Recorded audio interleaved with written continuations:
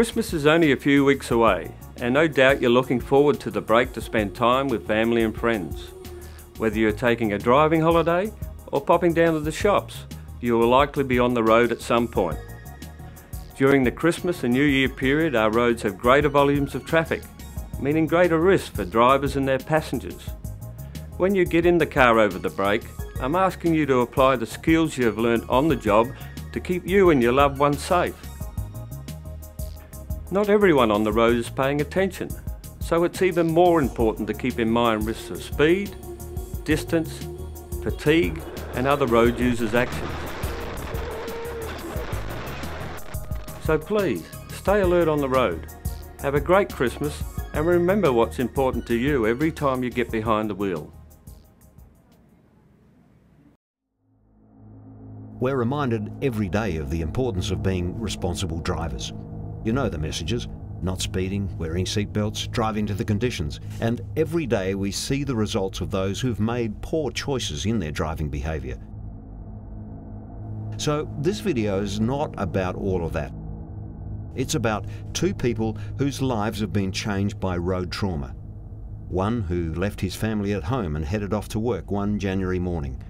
The next time he saw them was to identify them in the morgue. The other a long-serving police officer who's had to knock on too many doors to give families the news they didn't want to hear.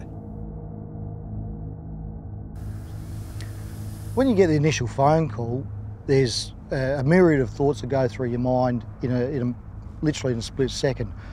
Um, do I know them? Are they a member of the community? At times, could it be your own family if they're out and about? What's the scene going to be like? How are you going to handle it?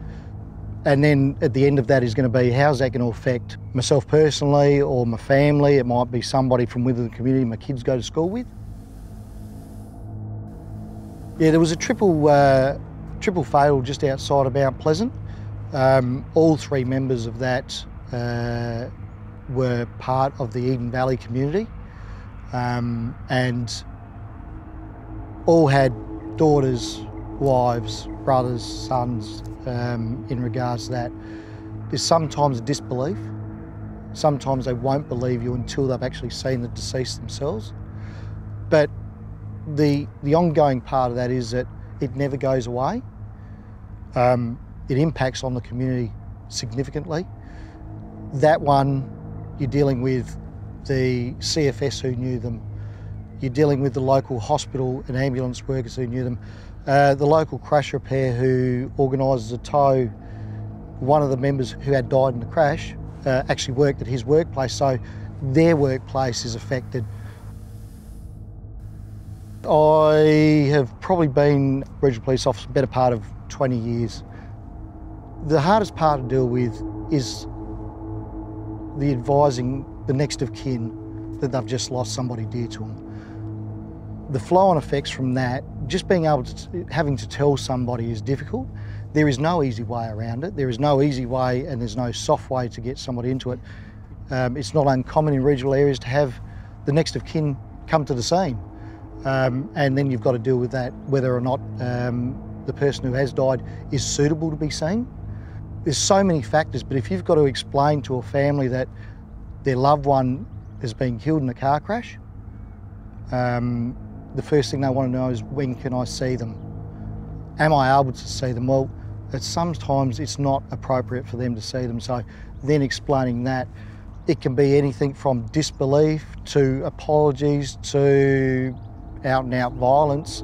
Um, just that raw emotion that comes out, uh, disbelief. Delivering those messages, you have to be empathetic, keeping in mind that you're actually delivering a death message as well. You know what you've got to do, the fact is that you've got to get it out and you've got to get it out quickly and it's got to be understood. Um, they've got to know that the person that you've come to tell them about is dead and it's got to be clearly communicated, but in an empathetic way. So it can be a very hard task. And then there's a fallout from that after that. You've got the local community. It might be uh, if they're an employee of an organisation within the area, the fallout from that. The other side of the coin as well, dealing with the member of the public who might have been first on scene as well. the poor motorist who pulls up next to it to check and everybody sees all right, they're not expecting that to happen during their normal day's work.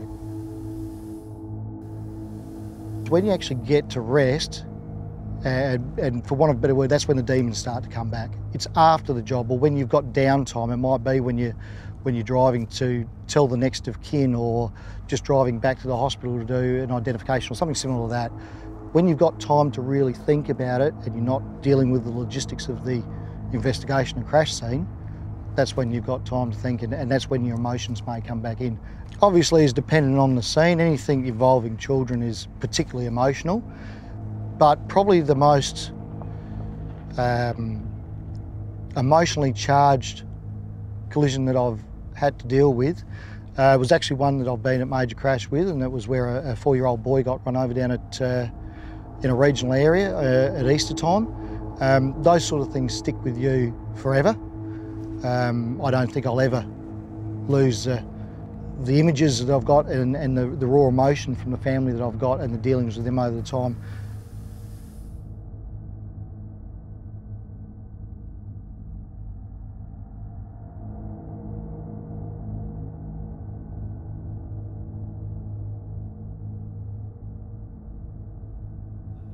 Yeah, the day pretty much started like any other day. Um, I uh, I got up to go to work. Um, kids were on school holidays, so uh, I'd I'd let them. Um, I didn't let them. They they were still asleep when I uh, when I left. Um, you know, got to work. Uh, went about my normal day. I'd uh, because I hadn't spoken to my wife Mel in the morning. I gave her a call about ten o'clock. And uh, she'd said that she had a few jobs to do in Mount Barker. Um, had an appointment, girls had an appointment in my sister's hairdressing salon in the Barossa. Aspects about what happened that day are really clear. Um, I remember bits of it like like it was yesterday. Um, you know, I'd gone to work um, uh, about quarter to two. My sister telephoned to say that Mel hadn't turned up for the appointment. Um, I then hopped on the phone, um, tried to call her on the mobile, tried to call her at home, um, couldn't get through. Um, I rang my sister back again. She still still hadn't turned up, so started to get a started to get a little bit uh, a little bit worried. Um, it was just uh, so unlike Mel to a miss an appointment, but then if she'd been held up or delayed. You know, she would have she would have generally phoned someone to let them know what was going on. I remember heading home and and sort of and it's really hard it's hard to explain why, but I had this heading home in the car. I, I had this really uneasy feeling um, as I got closer closer to Mount Barker in particular that that something just wasn't wasn't quite right. Um, so I ended up calling into the into the police station. Um, again, not not really knowing what I was going to ask. Um, you know, as I said before, she, at this stage she just hadn't turned up to an appointment or hadn't been answering her phone. So I almost felt a little bit silly going into the police station. But I guess such was this feeling that sort of overcome me as I was driving home that that you know, hang on, this this doesn't quite feel feel right. So I um, explained the situation to the to the police officer behind the behind the counter. Um, she went away for uh, what seemed like five or so minutes. Came back, um, said that she couldn't help me, but there were two police officers that were out on patrol who were due back in the station shortly. After that, uh, I noticed the, the two police officers uh, walk through the through the door. I could just see see the look on their faces. Yeah, I knew I knew that something had happened. Um, was to find out later they'd actually been out trying to find our house where we lived, um, hoping that, that I would be there to uh, to tell me the news. So um, they called me into an interview room, um, asked me to take a seat, and then asked a whole heap of questions about the car, um, about Mel and the girls. Um, where they'd been going, uh, and then told me the news that there'd been a, a crash and um, and a fatality. So it sort of wasn't until uh, a little bit later after I'd sort of tried to sort of try to process what's what this guy's suddenly told you. Um, you know, I I initially thought that there'd been one one fatality and had all these things going through my mind, um, trying to piece together who who it was that possibly would have passed passed away, whether it was Mel, my wife, or um, you know one of the kids, and if it was Mel, um, you know how how the kids cope without their mum, or if it was perhaps one of the girls, how would how would Mel feel knowing that she'd been in a crash that, that killed one of her children? So I don't know. I, I just recall having all these um, all these thoughts going around in my head, which which seemed to take an eternity, but I guess in all reality, it was probably just a couple of seconds, and um, it sort of wasn't wasn't until that point in time that the police officer then sort of corrected me and said no, there had actually been four four fatalities. I find it really hard to describe to someone um, what what goes through your head at that point in time. There's it's almost this feeling of um, of of suffocation, and and I know it probably sounds sounds silly, but it's just this um, it's just this feeling of hopelessness and and literally not not knowing where to turn, what to do, uh, what to think. Um, time passes and and you sort of realise you realise you know the gravity of, of what you've what you've just been told. It's a real it's a um, it's a surreal feeling, I guess that. Um, that yeah, I, I, to this day I still find it really hard to hard to describe uh, describe the feeling.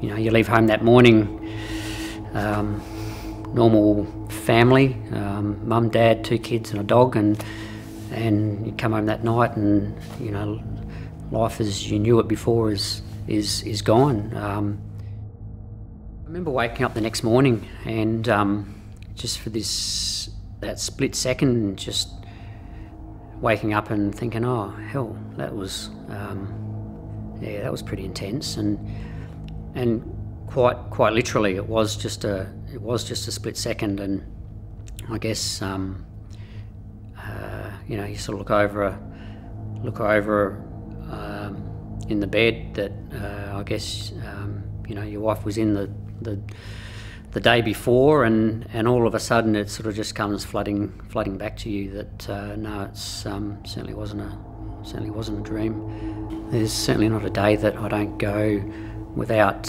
um, thinking uh, about the girls or aspects of that day. Um, you know, that in itself comes up uh, all the time. Um, you know, there's birthdays, there's Christmases, there's Easter anniversaries, wedding anniversaries. Um, you know, there's there's reminders um, right throughout the year, um, and yeah, it's uh, it's it's a difficult time around Christmas. There's no there's no question about that. Um, as is you know a lot of other days, Father's Days and Mother's Day. So, um, but yeah, it it um, it occupies a lot of my a lot of my time thinking.